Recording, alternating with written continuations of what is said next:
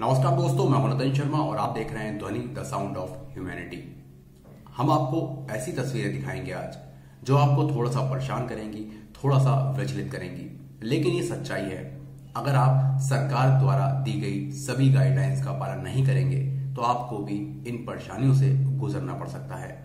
इसलिए सावधान रहें, सचेत रहें।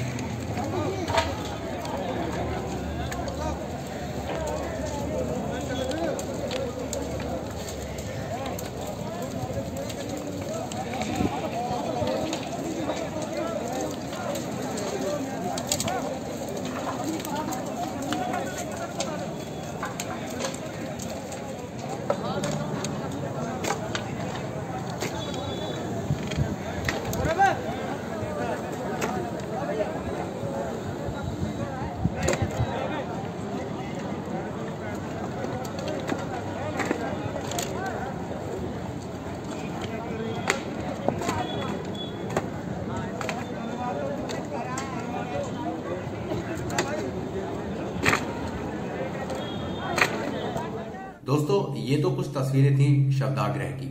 लेकिन आपको बता दें कि वाराणसी में एक खबर आई थी जहाँ पर लोग पाँच पाँच हज़ार रुपए कंधा देने के लिए दे रहे हैं। सोचिए, स्थिति कितनी भयावह है। अगर आप सभी गाइडलाइंस का सही से पालन नहीं करेंगे मास्क नहीं लगाएँगे तो हो सकता है आपको भी परेशानियों का सामना करना पड़े। इसलिए ज़्यादातर कोशिश करें कि घर में रहें और ज़रूरत पड़ने पर ही बाहर निकलें। घर में रहें, सुरक्षित रहें। आप देख रहे थे ध्वनि, द साउंड ऑफ़ humanity